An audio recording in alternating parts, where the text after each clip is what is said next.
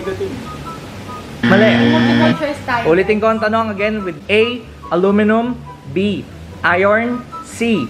Tungsten or D. Gold Hindi naman magbit ang gold, alam ko yun. Uy! Yung aluminum, hindi ko sure. Ano yung B? Iron Eh di iron. B. Iron is the correct answer. Aluminum, tungsten, and gold doesn't attract two magnets. Next question. According to a common phrase, a person who takes chances or risk is going out on a what? A. A limb. B. A horse. C. A skateboard. D. A nude beach. Going out on a what? This is an expression. B? B? B? B? B. Horse. Wrong. C. Skateboard. Going out on a skateboard is wrong. The correct answer is going out on a limb. Sa parte ng katawan ng tao, di ba? On a limb, when you take risks. Question number 12. Again, bugtong. Ano itong isang bayabas, pito ang butas? Uy! Isang bayabas, Tao. tao is wrong. 1, 2, 3, 4, 5, 6, 7. Jap, you have a chance to steal. Babaeng tao. babaeng, babaeng tao. Binilang mo ba? Binilang mo ba yun? Lalaki, anim eh. The correct answer is mukha or face. Ba't sabi mo 2, tao? 4, 5, 6, 7. Mukha! Mukha! Ayan, ano ba sinasabi mo? Babaeng tao. Shoutout sa'yo, babaeng tao. Question number 13. When a person is rudely ignored, he is said to be getting the what? Again, it's a form of expression. A. Hot knee. B. Warm toe. C. Cold shoulder. D. Fro- C, cold shoulder. C. Cold shoulder. He is said to be getting a cold shoulder. Tawa si Lea.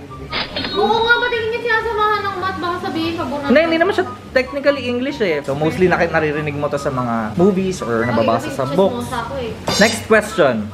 Filipina Lea Salonga has supplied the singing voice of two Disney princesses, Mulan in 1998 and another princess who discovered a whole new world. Who is this princess? Si Jasmine. Princess Jasmine? Jasmine is correct. Ikaw ma-Disney princess ka. Hey, Disney princess Aladdin. Next question. What is the world's smallest commercial fish that can be found in Bicol? A. Dilis. B. Magkaiba ba yung tawilis sa dark dilis? Oo. Yes, magkaiba po yata. Hindi ako sure. Even though Sige, eh, tawilis that answer is wrong. Hindi ko naantayin yung ano, pero huhula lang ako, try lang. Panda ka pigmeya. Actually, kasama siya eh, pero dun daw sa category na smallest commercial fish, ang tamang sagot is sinarapan. Sinarapan. Pero yun yung smallest alam ko, panda ka Ah. pigmeya eh. So wala nakatama doon. Next question. Ito malalim lang to. Ano ang salamin ng nakaraan? A. Geographiya. B. Geography Ay, ano pala yun? Geography pala yun. Ah, Ulitin ko yung ah, mga choices para kay Leia. Again, A. Geographiya. B. Kasaysayan. C. Kultura. D. Edukasyon. Sayang. Kasaysayan is the correct answer. History. Paritambak, paritambak. Ano tayo yan? Question number 17. What is the provincial capital of Cavite? It is known as the banking capital of the province. A. Imus B. Trece Martires C. Bacoor D. Dasmariñas Bacoor. Bacoor is wrong. Asma. Dasmariñas is wrong also. The correct answer is Imus? Cavite. Imus. Next question, sino ang ikawalong pangulo ng Pilipinas? A. Manuel Rojas B. Diosdado Macapagal C. Corazon Aquino D. Carlos Garcia Carlos. Oh. Sino na una?